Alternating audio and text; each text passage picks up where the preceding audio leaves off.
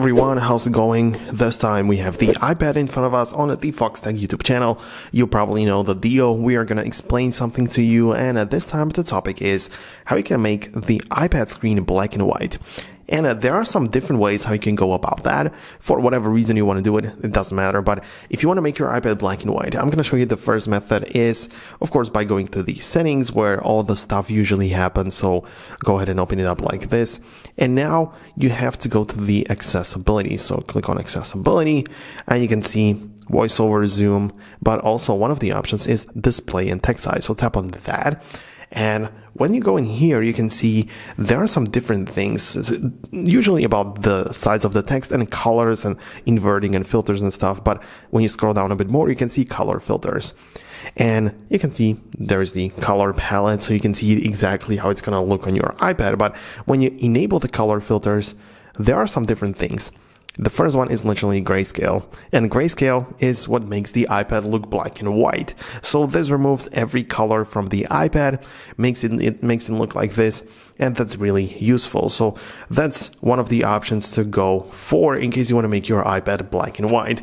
You can always just come back to the to the settings and disable the color filters altogether to make it appear normal again.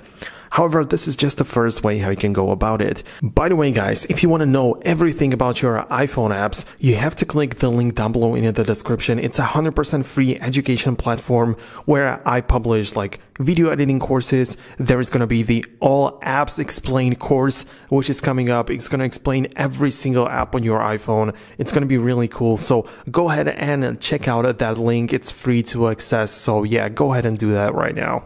You can also utilize the zoom feature, which basically does the same thing but a little bit differently.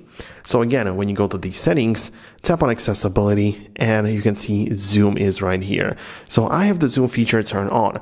This is what you should have. It's of course the way to double tap with three fingers to zoom it in and stuff. However, the zoom feature also lets you triple click with three fingers. So if you go like this, you get to this section, and this allows you to choose a filter. And you click on that, you can also choose a grayscale. So that's basically how you can also do that. It does the same thing, but as I said, a little bit differently, because you can always access it from anywhere. You don't have to go to the settings to find that feature. You can just find it all the time in here. Keep in mind that these are independent of each other. And this means that when I go to these settings and in the accessibility, in the text, enable the color filters like this, come back to the home screen, I can still triple click and click on that and grayscale is not enabled. So I can enable it twice perhaps. So this may be kind of confusing. You can see I have the grayscale enabled twice. Now, when I go to the settings and disable the color filters, it still stays black and white, which may be confusing because there are two ways how you can do that. So from the zoom as well as from the uh, accessibility display settings. So that's the two ways how you can go about that. However, there are more ways how you can trigger or enable it if you really wanted to. You can, for example, enable the uh, um, the assistive touch. So if you go to the accessibility and go to the touch section, you can also enable the assistive touch, which is going to be the floating button in here. So you can also keep it on the screen all the time. And you may decide that the single tap is going to make sure that you uh, do or turn on some different things. So yeah, you can see many different things. You can add shortcuts. You can open whatever stuff you want. So you can also utilize that to get to that section so that, that would be useful as well but I'm going to keep it turned off. But you also have the accessibility shortcut and accessibility shortcut basically allows you to invert the colors. So I'm going to uh, see you're going to see that accessibility shortcut basically is something that's going to be triggered by triple clicking the power button on your iPad. It is useful for me. It is color filters and guided access I'm going to come back to the settings and disable guided access so it doesn't mess with that and you can see that the only thing within accessibility shortcut is color filters. So when I click on triple click it like this, you can see that it switches to black and white. So I don't even have to go to the settings or do anything. I can just triple click the power button on my iPad and make sure that it just switches to the grayscale. So that's another option. You can see that there are many different ways how you can go about that. It just depends on you. You can also go ahead and download the shortcuts app on your iPhone or iPad.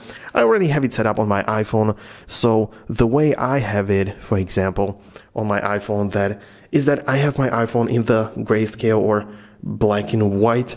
And when I, for example, open up the YouTube, it's going to make sure that everything is in full color. So it works nice. But when I leave the app, it makes everything black and white again. So that's useful. I have set it up inside of my shortcuts. So when I go to these shortcuts, you can see exactly how it works. When I open 14 apps and when I close the, the 15 apps or 14, whatever, it changes the color of my iPhone. And you can also set it up the same way on your iPad. You can decide that when you open up the settings, everything's going to become black and white, or when you leave the settings, everything's going to be colorful again. So many options available. Depends on what you want and how you want to utilize it. So I'm going to wrap up this video right now. Thank you very much for watching. Hope you found it useful and informative. Please leave a thumbs up if you did. And also subscribe so you never miss future Foxtecc tutorials. Thanks a lot for watching. See you guys later. Peace out until then.